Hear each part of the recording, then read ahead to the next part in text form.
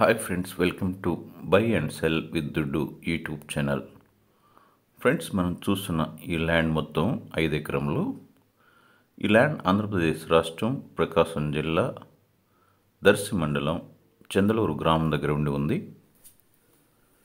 ఈ ల్యాండ్ మెట్ట భూమిగా ఉండి ఉంది. ప్రస్తుతం ఈ ల్యాండ్ నందు పొగాకు యొక్క మొక్క వేసి సాగు చేస్తూ ఉన్నారు. ఈ ల్యాండ్ పంటంతా కూడాను వర్షాధారితంగా మాత్రమే పండిస్తూ ఉంటారు. సకాలంలో వర్షాలు పంటకు అనుకూలంగా పడినట్లయితే ఈ పంట దిగుబడి బాగా వచ్చి అధిక లాభార్జనగా ఉంటుంది. ఈ ల్యాండ్లోనికి వెళ్ళడానికి ఏ విధమైన రోడ్ మార్గం అయితే లేదు. వ్యవసాయ పనుల నిమిత్తం మరియు పండిన పంటను ట్రాన్స్పోర్ట్ చేయడానికి రైతు సడల మీద మాత్రమే ఈ ల్యాండ్లోనికి వెళ్ళి రావచ్చును. ఈ విధంగా ఉన్న ఈ ల్యాండ్ను ఈ ల్యాండ్ కలిగిన రైతు తన యొక్క వ్యక్తిగత అవసరతల దృష్ట్యా ఈ చుట్టుపక్కల ఉన్న ధర కంటే తక్కువ ధరకు ఈ ల్యాండ్ను అమ్మదలిచి మన ఛానల్ను సంప్రదించడం జరిగింది. ఈ విధంగా ఉన్న ఈ ల్యాండ్ను తీసుకుని వారు మీరు మాకు మెయిల్ రూపంలో తెలుపగలరు. ఫ్రెండ్స్ ఇదే విధంగా మీరు చెందినటువంటి లేదా మీకు తెలిసిన వారి ల్యాండ్స్ తక్కువ ధరకు అమ్మదలిచిన వారు మాకు ఐదు నిమిషాల నుండి ఇవ్వగలిగినటువంటి వీడియోతో పాటు పూర్తి రికార్డ్స్ వివరణతో కూడా మాకు మెయిల్ రూపంలో పంపించగలిగినట్లయితే మేము ప్రసారం చేయగలము. ఫ్రెండ్స్ ఈ వీడియో చూస్తున్న మీరు ఇంకనూ సబ్స్క్రైబ్ చేసుకోకుండా ఉండి ఉన్నట్లయితే వెంటనే సబ్స్క్రైబ్ చేసుకోనండి తద్వారా మీకు ప్రతి ల్యాండ్ యొక్క సమాచారం తెలుస్తుంది. ఇక ఈ ల్యాండ్ యొక్క ప్రైస్ మరియు రికార్డ్స్ని కనుక పరిశీలించినట్లయితే మొదటిగా రెవెన్యూ రికార్డ్స్.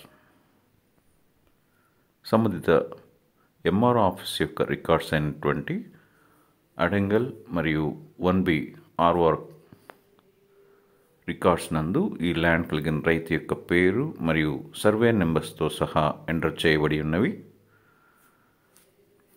ఎంఆర్ఓ ఆఫీస్ నుండి పట్టాదార్ పాస్ పుస్తకములు ఆర్డీఓ ఆఫీస్ నుంచి టైటిల్ డీడ్ పుస్తకములు ఈ ల్యాండ్ కలిగిన రైతు పొంది ఉన్నారు. ఈ ల్యాండ్ ఐదు ఎకరాలు ఒకే కాంపాక్ట్ ల్యాండ్గా ఉండి ఉంది.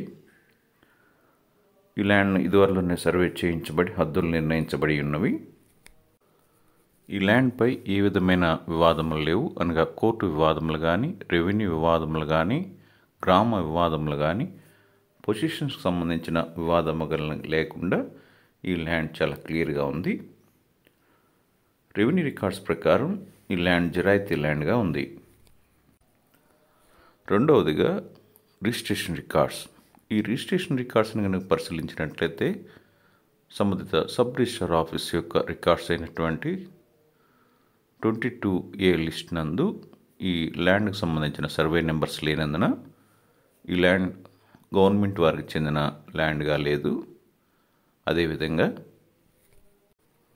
సబ్ రిజిస్టార్ ఆఫీస్ యొక్క నిషేధించబడిన లిస్ట్లో కూడాను ఈ ల్యాండ్కి సంబంధించిన సర్వే నెంబర్ లేనందున ఈ ల్యాండ్ రిజిస్ట్రేషన్ చేసుకునేందుకు ఎలాంటి అభ్యంతరం లేవు.